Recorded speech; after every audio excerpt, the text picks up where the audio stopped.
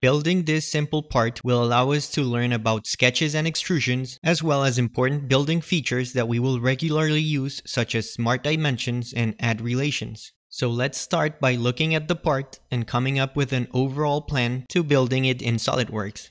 Now remember that there is no one only way to build this part, meaning you can come up with many different ways to get to the final product, but the planning stage will let you come up with an efficient list of steps that you will follow to try to spend the least amount of time building it.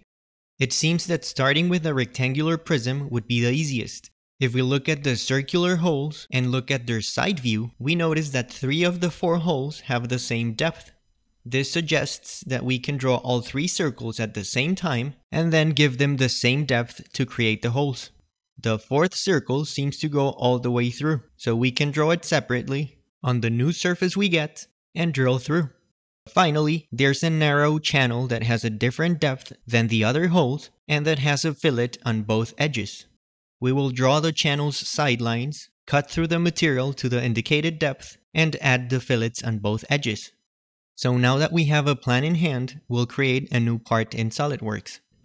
To create a rectangular prism, we first need to understand what an extrusion does.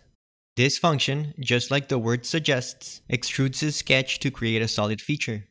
This means that we can have a circle and extrude it to make it a rod. We can extrude a ring to make it a cylinder. Or in this case, we can create a sketch of a rectangle and extrude it to make it a rectangular prism. So that's what we'll do here.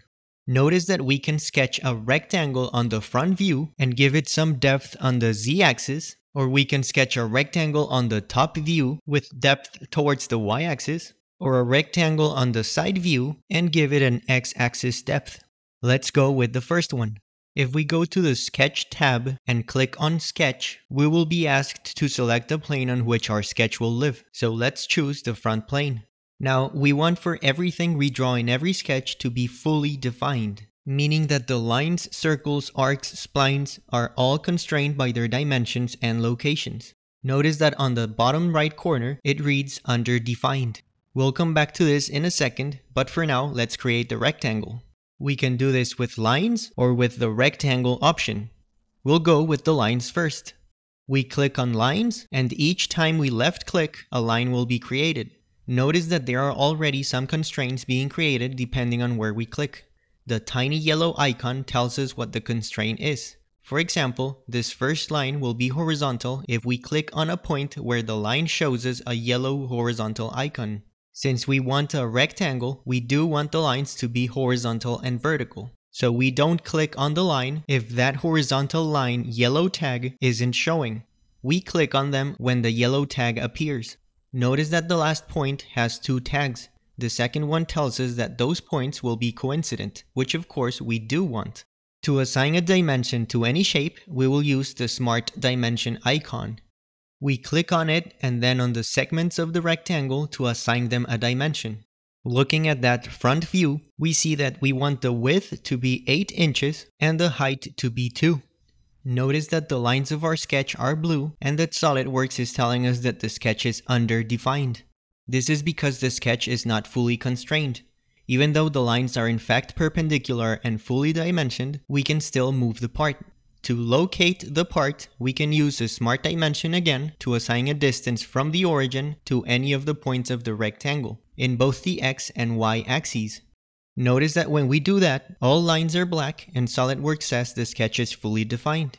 Another alternative is to use what we call add relations. Let's delete these two smart dimensions and notice that the blue lines and the underdefined are showing again and click on the drop-down menu of the Display Delete Relations button. Here we find the Add Relation option. If we want, for example, that the origin of our rectangle is located at the origin of my part, we can click on those two points, make sure that they are indeed selected on the left pane, and add the coincident relation. Since the lines are black, meaning that the sketch is fully defined, we click on either checkmark to confirm the new relation. Once we're done with the sketch, we confirm we're done with it by clicking on the return icon. We now want to extrude this rectangle into a prism. If we go to the Features tab, we'll see the Extruded Boss Base icon. If nothing is selected when we click on it, it'll ask us to select the plane or the sketch that we want to extrude. Of course, we want to select the sketch of the rectangle, which we can now find under the Design Trees drop-down list.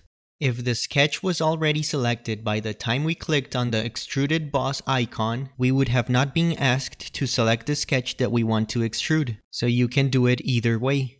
Here, we can set the depth of the extrusion. We want this dimension to be 3.5 inches, and the extrusion function shows us a preview before we click on the checkmark to confirm. At this point, we can save our document. The name of our document will show an asterisk next to it when the part is not saved, so make sure to save regularly to avoid losing your work. Before continuing with the other features, let's say that we use the incorrect dimensions for this prism. You can always right click on either the extruded boss to edit the feature, in this case the depth, or you can right click on the sketch to edit the sketch itself. Remember from our last video that you can always look at a sketch or plane from a perpendicular view by using the Ctrl 8 hotkey combination. If we click on Edit Sketch and press Ctrl 8, we can click on any dimension to edit it and the entire prism would change. But since we did use the correct dimensions, I'm just gonna cancel the edit. And let's use Ctrl 7 to return to the isometric view. Now we want three holes that have the same depth of 1.5 inches. We'll use the top surface as the plane to draw our sketch. Let's look at it from the top, which is either Ctrl 5 for the top view or Ctrl 8 for the view normal to that plane. And let's turn shadows off like we learned during the last video to not have that distraction. We want a circle somewhere over here, one on the bottom segment and one on the bottom right corner. The diameter of the first one is 1 inch, and since the radius of the other two is 1 inch, it means that the diameters are 2 inches. We press F to fit to screen. With another smart dimension, we can locate the center of the first circle at 1.25 from the left and 1.75 from the top. Since the second circle is centered on the midpoint of the bottom segment, 4 inches away from one edge of an 8 inch segment, We'll use the add relation function we just learned about to make those two points coincident. We go to add relation, we select the center of the circle, and to select the midpoint of a segment, we right click on it and choose select midpoint. We then select the coincident option and click on the OK green checkmark. Notice that the third circle is already black, meaning fully defined, since I clicked on the corner when drawing the circle's center. Since the entire sketch is fully defined, we exit the sketch, we select it so that we don't have to select it again in just a second, press Ctrl 7 for isometric view, and we go to the Features tab and click on the Extruded Cut. This feature works similarly to Extruded Boss, except this one will create holes instead of extruded bosses. The depth we want for these holes is 1.5 inches. Let's create the additional smaller hole now.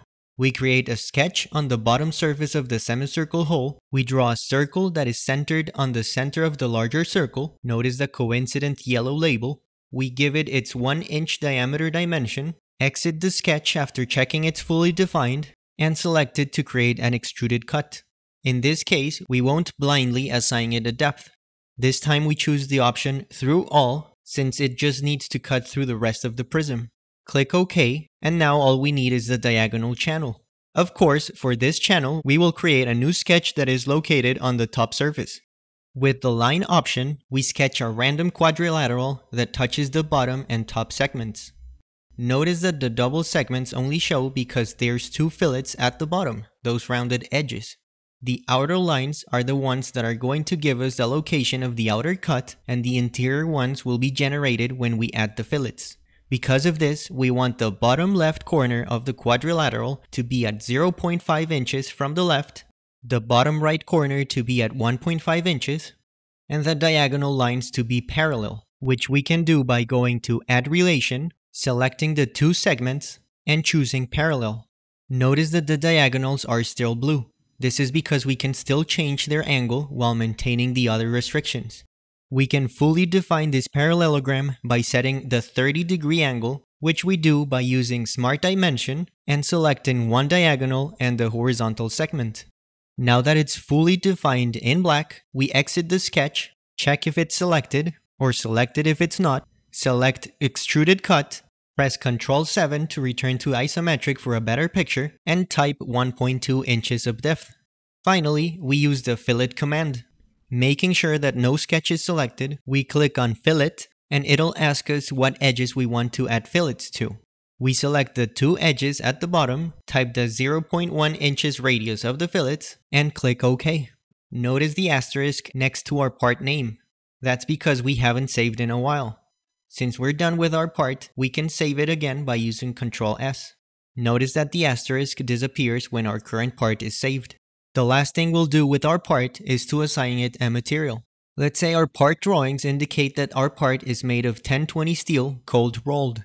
To do this, we right click on the material, select Edit Material, choose the 1020 from our list, and click Apply. We can go to the Evaluate tab and use, for example, Mass Properties. Because we've assigned the material to the part, we can not just see the center of mass relative to our origin, but the weight. This is only possible if we know the density, which is given, of course, by the material we selected. So in this video, we learned about sketch and planes, smart dimensions, black and blue lines for fully defined and underdefined sketches, add relations, extrusion bosses and extrusion cuts, editing existing extrusions or sketches, saving documents, adding fillets, and designing materials. The links to the other videos of this SOLIDWORKS course, as well as the lectures to other engineering courses, are linked in the description down below. Thanks for watching.